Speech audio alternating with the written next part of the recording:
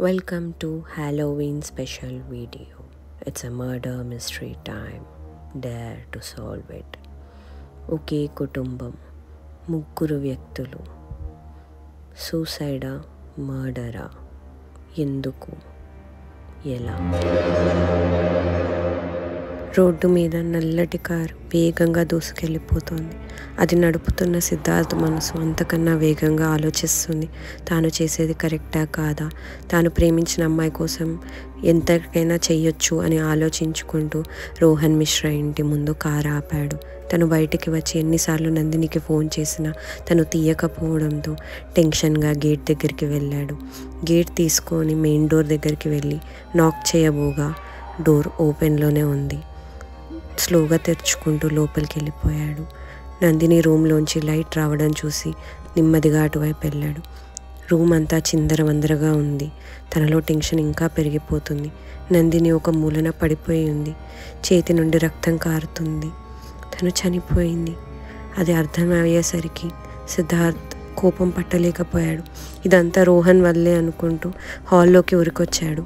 రోహన్ అక్కడ తాగుతూ ఉండడం గమనించి కోపంగా అరవడం మొదలుపెట్టాడు. దగ్గరికి వెళ్ళి కదపగా రోహన్ కూడా చనిపోయి ఉన్నాడు. రోహన్ భార్యకి ఎలా అయినా విషయం చెప్పాలి అని ఆమెని వెతుకుతూ కిచెన్ వైపుకి వెళ్ళాడు. కిచెన్ అంతా కూడా చిందరవందరగా పడిపోయి ఉంది. ఆమెని వెతుకుతూ ఉండగా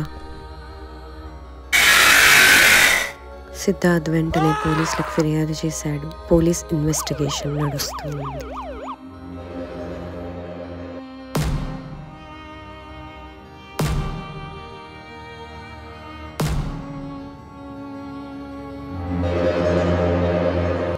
ఇప్పుడు మనం అక్కడ హాల్లో ఏమేం వస్తువులు ఎలా ఉన్నాయో గమనిద్దాము. ఇది ఒక ఫ్యామిలీ పోర్ట్రేట్. అండ్ ఇక్కడ రోహన్ చనిపోయి ఉన్నాడు. మందు గ్లాస్ అన్నీ అక్కడ పడిపోయి ఉన్నాయి. ఇక్కడ ఎమర్జెన్సీ కాంటాక్ట్ లిస్ట్లో డాక్టర్ వైఫ్ అందరి నెంబర్స్ ఉన్నాయి. అండ్ ఇది different angles of Rohan's chair.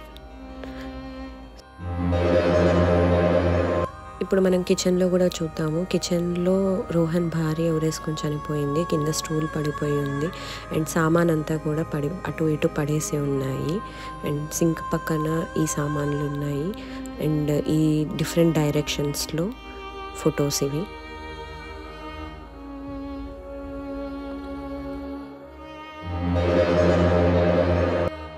ఇప్పుడు మనం నందిని రూమ్లోకి వచ్చాము. నందిని కూర్చున్న దగ్గర చుట్టూ ఫొటోస్ అన్ని చింపేసి పడిపోయి ఉన్నాయి. నందిని ఊరిలో సిద్ధార్థతో తను దిగిన ఫోటో ఉంది. చేతికి కోసిన రక్తం మరకలు ఉన్నాయి. నేను ఇంకా వీడిని భరించలేను అని రాసి ఉంది. అక్కడ ఆమె ఐడి కార్డ్ వేసి ఉంది. అండ్ కొన్ని ఫొటోస్ ఆమె చుట్టూ ఉన్నాయి. అండ్ డిఫరెంట్ యాంగిల్స్లో ఫొటోస్ తీసి అక్కడ ఉన్నాయి.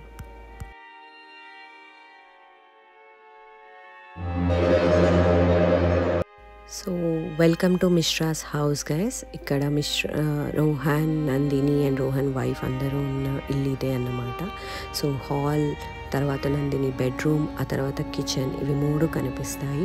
సో డీటెయిల్డ్గా చూడండి క్లూస్ ఇక్కడే ఉంటాయి. అండ్ ఇది అయిపోగానే నేను తర్వాత క్లూస్ ఎక్స్ప్లెయిన్ చేస్తాను. అండ్ లాస్ట్లో మేము ఇదంతా ఎలా క్రియేట్ చేసామో కూడా ఎక్స్ప్లెయిన్ చేస్తాను.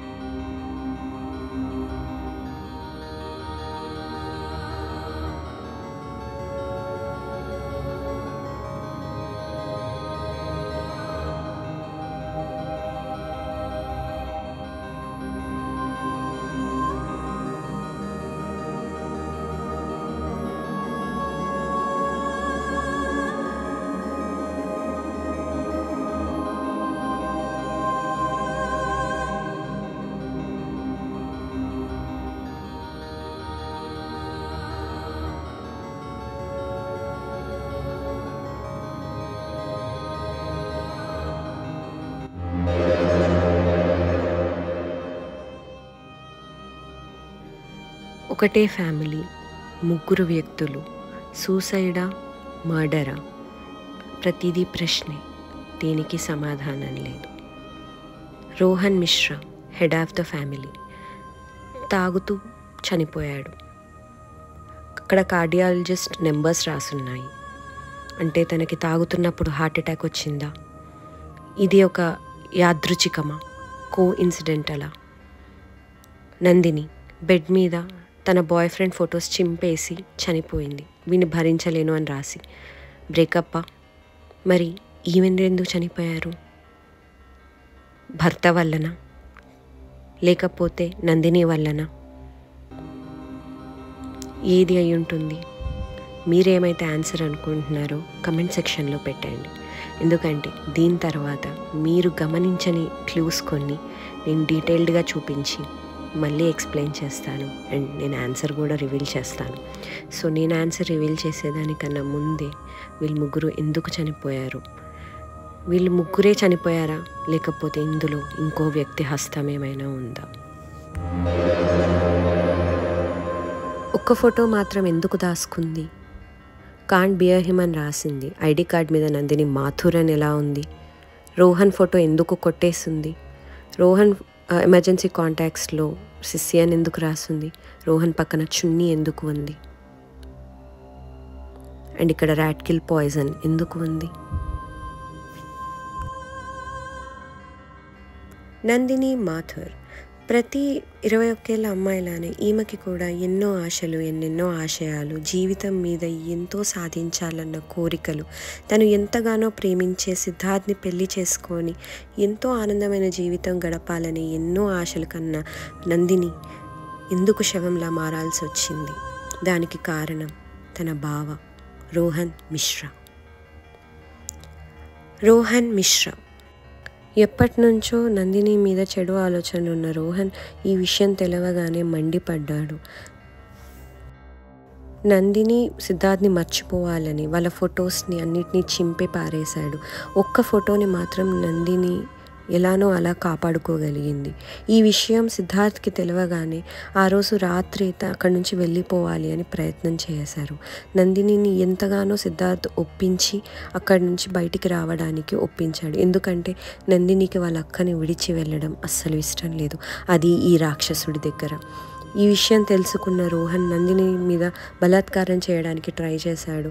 ఆమె గట్టిగా వారించేసరికి ఆమె చున్నీ తీసుకొని కోపంగా బయటికి వెళ్ళిపోయాడు ఈ విషయం అంతా చూసిన నందిని వాళ్ళ అక్క తన తన వల్లే తన చెల్లికి ఇలాంటి పరిస్థితి వచ్చింది అని చాలా బాధపడింది. రోహన్ లాంటి రాక్షసుడు చనిపోతే తను తన చెల్లి జీవితం చాలా సంతోషంగా ఉంటుందని తన చెల్లి తన కోరుకున్న వాడితో హాయిగా బతుకుతుంది అని ఆలోచించింది. ఎవ్వరూ చేయని సాహసం చేయాల్సి వచ్చింది తనకి. తన భర్త తాగే మందులో ఎలుకల మందు కలిపి ఇచ్చేసింది. ఈ విషయం తెలియని నందిని తన వల్ల తన అక్క జీవితం నాశనం అయిపోతుంది అని భావని అడ్డుకునే శక్తి తనకి లేదు అని గమనించి ఈ జీవితం ఇంకా తను భరించలేక తను ఇట్లాంటివన్నీ ఇంకా సహించలేక తన జీవితాన్ని తానే అంతం చేసేసుకుంది. తనకిష్టమైన రోహన్ ఫోటోని చేతిలో పట్టుకొని ఇంకా ప్రాణాల్ని వదిలేసింది. ఇదంతా తెలియని నందిని వాళ్ళ అక్క రోహన్ చనిపోయాడని కన్ఫర్మ్ చేసుకున్న వెంటనే నందిని దగ్గరికి వెళ్ళింది సిద్ధార్థ్ దగ్గరికి వెళ్ళిపోమని చెప్పడానికి. కానీ అప్పటికే చాలా ఆలస్యం అయిపోయింది. నందిని చనిపోయింది. తన వల్లే తన చెల్లి చనిపోయింది అని అర్థమైనాక నందిని వాళ్ళ అక్క ఇంకా భరించలేకపోయింది. తాను ఇంత చేసింది తన చెల్లి కోసమే అని అయినా కూడా తన చెల్లిని కాపాడుకోలేకపోయినందుకు చింతిస్తూ తాను కూడా ఉరేసుకొని చనిపోయింది. Welcome to smile with Soumya. So మీకు అందరికీ స్టోరీ ఎలా అనిపించింది? ఇదైతే కేవలం కల్పితం మాత్రమే. అండ్ ఇందులో ఏ స్టోరీ ఎక్కడ పేర్లు కానీ ఫోటోలు కానీ ఏవి ఎవరిని ఉద్దేశించినవి కావు. ఇవన్నీ జస్ట్ యాక్టర్ ఫొటోస్. అండ్ మేము ఊహించి రాసిన ఫో స్టోరీ మాత్రమే.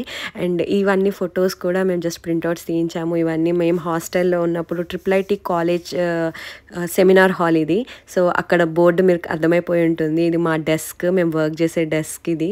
సో అది తీసుకొచ్చి ఇక్కడ పెట్టి నేను రెడీ చేసాము. జస్ట్ ఒక పిల్లోకి షర్ట్ వేసి కింద నుంచి జీన్స్ వేసి మొత్తం అంతా ఫిల్ చేసేసాము. సో అది అలా డెడ్ బాడీ లాగా అందుకే ఫేస్ కనిపించకుండా పడుకోబెట్టాము. ఆ స్టోరీస్ కూడా మేము వెనక నుంచి అలానే రాసాము. ఎందుకంటే మాకు ఫేస్ క్రియేట్ చేయడం చాలా ఇబ్బంది అయింది. సో ఫేస్ లేకుండానే ట్రై చేయడానికే స్టోరీ కొద్దిగా అటు ఇటు మార్చాల్సి వచ్చింది. దానివల్ల కొంచెం ఇంకా క్రూయల్ అయింది స్టోరీ. బట్ ఇక్కడ మీరు చూసిన కర్టెన్స్ వచ్చేసి పైన ఆల్రెడీ వాటికి రాడ్స్ లాగా ఉన్నాయి. సో ఆ రాడ్స్కే కట్టేసి ఒక ట్రయాంగిల్ క్రియేట్ చేసాం. సో టూ రూమ్స్ అన్న డివిజన్ రావడానికి. అండ్ ఇక్కడ నార్మల్ మా బెడ్స్ తీసుకొచ్చేసాము అండ్ ఇది నార్మల్ ఒక లెగ్గిన డ్రెస్ వేసేసాము పిల్లోకి వేసి దానికి ఒక బాల్ పెట్టి దానికి హెయిర్ విగ్ లాగా ఉంటే ఆ విగ్ పెట్టేసాము. సో అది కొంచెం ఎవరైనా కదిలిపినా కూడా అది జారిపోతుంది అలానే ఉంది. అండ్ ఇక్కడ నేను మా ఫ్రెండ్ ఇద్దరం కలిసి దాంతో ఫోజ్ ఇచ్చి ఫోటో దిగుతున్నాం అనమాట అండ్ అది వెనక్కి పడిపోకుండా అక్కడ స్టూల్ పెట్టాము. ఇక్కడ మిర్రర్ లాగా కనిపిస్తుంది కదా ఇది ఒక different type of polythene paper లాంటిది. నేను దీన్ని లైట్లో చూపిస్తాను సో ఈ పేపర్ లాంటిది అది ఒక మిర్రర్ ఎఫెక్ట్ లాగా క్రియేట్ అవుతుంది అని చెప్పి మేము దాన్ని పెట్టాము. యాస్టిస్ మిర్రర్ ఆ చీకట్లో పెడితే పడిపోయి పగిలిపోయే కష్టం ఉంది కాబట్టి సో అలా క్రియేట్ చేసాము అక్కడి వరకు. అండ్ ఆ ఐడి కార్డ్స్ మావే. మా ఐడి కార్డులకే నందిని మాథుర్ అని పేరు రాసి అక్కడ పెట్టేశాము. అండ్ ఇక్కడ most favourite part of entire this is ఈ హ్యాంగింగ్ లేడీ సో ఈమె పైన పార్ట్ ఒక పిల్లో పిల్లోకి మేము చీర కట్టేసి ఏం లేదు అక్కడ తల సో దాన్ని గుంగట్లాగా వేసేసాము. స్త్రీ అని ఒక మూవీ ఉంటుంది హిందీ మూవీ దాని ఇన్స్పిరేషన్గా చేసిన యాక్ట్ ఇది. అండ్ అందుకే మీరు వెనక నుండి చూస్తే చీర చీరకి హోల్ పెట్టి హోల్ నుంచి బయటికి తీసాము. అండ్ ఇదంతా మెస్సి మెస్సీగా ఉండే మేము చేస్తున్నప్పుడు అండ్ ఒక టూ త్రీ టేబుల్స్ తీసుకొచ్చి పక్క పక్కన వేసాము. ఇది ఒక సింక్ లాగా కార్డ్బోర్డ్తోనే రెడీ చేసాము. మీరు చూస్తే కిటికీలన్నిటికీ మేము ఇలాంటి బ్లాక్ కలర్ షీట్ అప్లై చేసేసాము మొత్తము. సో లైట్ రాకుండా లోపలికి అండ్ ఉన్న లైట్కి కూడా రెడ్ కలర్ పేపర్ చుట్టేసాము. సో మీకు అందుకే ఈ స్పూకీ ఎఫెక్ట్ అనేది వస్తుంది. ఇవన్నీ కూడా మా కిచెన్లో మా హాస్టల్లో ఉన్న సామానే. మేము ప్రతి ఒక్కళ్ళ రూమ్లోకి వెళ్ళిపోయి మాకు ఏ సామాన్ కరెక్ట్ ఇంటికి మ్యాచ్ అయ్యింది అనిపిస్తే అవన్నీ తీసుకొని వచ్చేసి అక్కడ పెట్టేసి సెట్ చేసేసాము. అండ్ ఫైనల్లీ నేను వాడిన ఈ ఫోటో మా ఫ్రెండ్ది. పాప ఫోటో దిగితే నేను ఇక్కడ వాడేశాను. సో ఇలా చేద్దాము అన్న బేసిక్ ఐడియా వచ్చి నా ఫ్రెండ్ కృష్ణవేణిది ఇక్కడ ఉన్న నా ఫ్రెండ్ది. బట్ ఎగ్జిక్యూషన్లో ఇద్దరం హెల్ప్ చేసాము. థింగ్స్ మా ఇంటి నుండి వాళ్ళ ఇంటి నుండి అండ్ మా ఫ్రెండ్స్ వాళ్ళ రూమ్స్ నుండి అన్నిటి నుండి తీసుకొచ్చాము. ఫోటో సెషన్ మేమైతే ఆల్మోస్ట్ త్రీ ఫోర్ డేస్ చేసాము. సో ఫస్ట్ డే చేశాక ఫస్ట్ హ్యాంగింగ్ లేడీ చేసాము. దాన్ని అక్కడ వేసాక మేము రూమ్లోకి రావాలంటేనే దడుచుకొని వచ్చాము కృష్ణవేణి అయితే బయటికి వెళ్ళిపోయింది. దాంతా భయపడింది. సో కానీ తర్వాత నాకు అదే బాగా నచ్చింది. అండ్ ఆ స్పూకీ ఎఫెక్ట్ అవన్నిటికీ చాలామంది ఫ్రెండ్స్ హెల్ప్ చేశారు. మేము ఇద్దరమే కాదు అందరు హెల్ప్ చేశారు. అండ్ అలాగే ఈసారి నేను హారర్ స్టోరీ చెప్పాను. మీకు అందరికీ ఎలా అనిపించిందో చెప్పండి. ఒకవేళ బాగుంది అని అంటే నేను ఇంకా ఇంకా హారర్ స్టోరీస్ చెప్పడానికి ట్రై చేస్తాను. అండ్ చాలా ఎఫర్ట్ పెట్టి చేసాము ఈ మిస్టరీ రూమ్ సో మీకు అందరికీ నచ్చింది అనుకుంటున్నాను నచ్చితే మాత్రం don't forget to subscribe for smile with Soumya bye bye